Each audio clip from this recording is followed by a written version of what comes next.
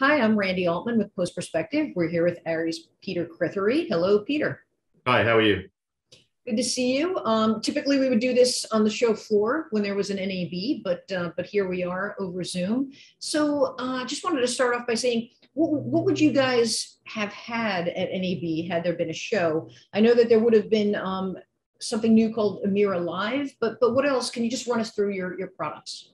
Sure. No, absolutely. Appreciate it. And thank you for, for having me. So as, as everyone knows, ARRI is uh, very well known for our accomplishments. Uh, we've got a long and distinguished track record in feature film production, episodic television, uh, commercials, and many others. Uh, we have a robust ecosystem in both camera and lighting. Uh, but what we're not well known for is bringing the imaging magic, which is you know our signature look, specifically into live broadcast production.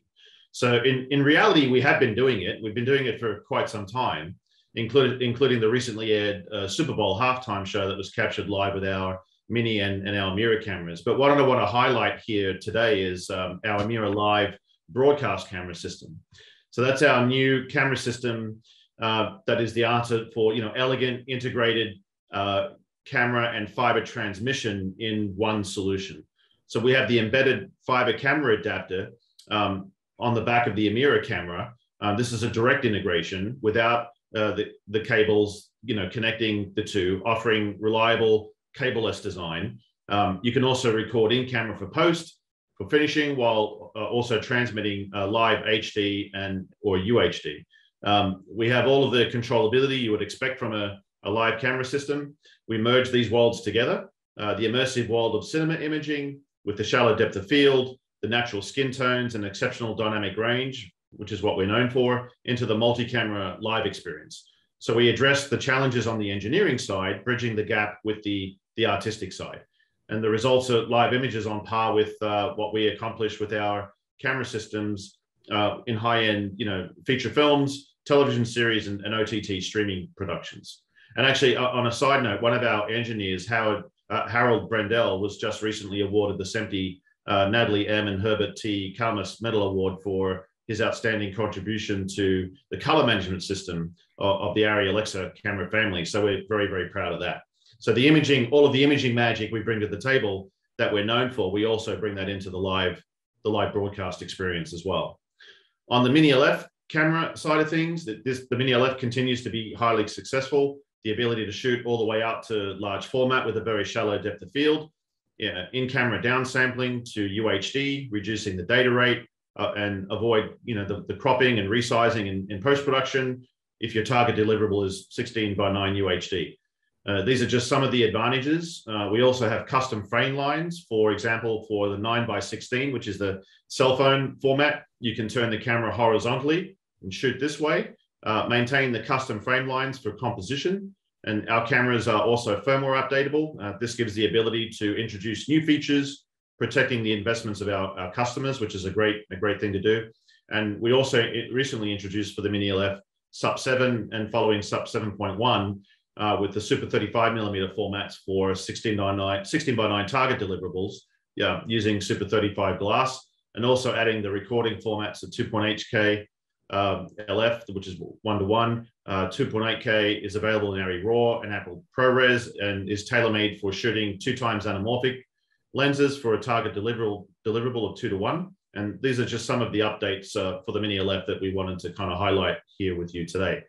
On the remote production side, our cameras and lights can be controlled remotely. Uh, this has been done with a number of productions um, via the web remote interface and also via IP, regardless of where you are it, whether you're in another room or across the world, you can control all the necessary features of our cameras and lights in, in, in a remote workflow environment. From our lighting offerings, uh, some of the highlights is we have our highly su successful SkyPanels, of course, and our orbiter. Um, our orbiter features interchangeable optics, transforming into the perfect light for applications uh, without sacrificing beam, output, or color quality. Uh, we also have the ARRI LightNet, which is a new offering from our uh, System Solutions Group, which is a, a, software platform designed for seamless workflow integration with broadcast lighting systems, utilizing the full power of IP connectivity, and at the same time ensuring ease of use, effectiveness, and efficiency in daily studio lighting operations. So LightNet essentially you know, offers a smart logical, and at a glance centralized monitoring, fault finding, and management of broadcast studio lighting networks from, from any location. And just want to very briefly touch on our lenses. Our ARRI Signature Primes are the first cinema lenses that we've crafted specifically for digital. Uh, film lenses don't work in digital the way that they do in film. Uh, the highest quality film lenses feel too sharp and, and clinical, so to speak. Uh, other lenses, the ones with more aberrations, feel great in HD, but don't hold up in, in UHD and, and HDR, where their qualities become distractions and, and kind of pull audiences out of the story. Our goal here at ARRI was to design a look that works uh, for today, for the present, in HD and 4K, and then looks even better in the future in HDR and 8K. So most productions, uh, you know, are still monitoring on set in HD, as we all know, and it's not until post that a cinematographer can see what their work looks like when mastered at 4,000 nits in, in UHD resolution, for example. Um, there are a lot of lenses whose look will become greatly exaggerated when seen in, in that fashion. Our lenses only look even, even more beautiful. But the only surprise in post should be that they look even better on ultra high quality displays. So we found a way to balance aberrations in a pleasing way that makes people look their best while capturing the maximum amount of color, uh, shadow and highlight information. And our lenses are, are high resolution without feeling artificially sharp, which is important when planning ahead for 8K and, and HDR. And while they feel natural at the point of focus, we offset that with the bokeh that is incredibly soft and smooth to create an enhanced sense of depth. So like our cameras, the signature lenses look great out of the box while giving cinematographers everything they need to push their images to the limit in post. Uh, or they can experiment in camera by using filters uh, and, and nets with our rear magnetic uh, filter holders, which allow them to use the same tools uh, on both zooms and, and primes. And, and our newly introduced signature zooms are unique in that they intercut seamlessly with our signature primes. Uh, matching primes and zooms were easier to make in the film era as the analog medium forgave a lot of the differences. Uh, digital doesn't forgive uh, much at all. So this was uh, a much more difficult task, but, but we did it. We were able to pull it off. And we feel that this is the, the first combination of zooms and primes that do actually intercut perfectly when used on, on high performance digital cameras like our, our series of cinema cameras. So the signature primes have become very popular across a wide variety of production types, uh, features, television, fashion, uh, you know, commercials and so forth, visual effects, documentaries, uh, even product photography and, and, dome projection. They've been used very successfully. So they have a unique character that's built to look better over time, and they're tailor-made for digital. Um, the more you see, the, the better they look, essentially. So the signature primes have 16 focal lengths from 12 to 280 millimeters, uh, all at T 1.8, except for the 200, which is a 2.5, and the, the 280, which is a, a 2.8, and, and all are shipping currently. With the signature zooms, we have a 16 to 32, we have a 24 to 75, we have a 45 to 135, and a 65 to 300, all at 2.8.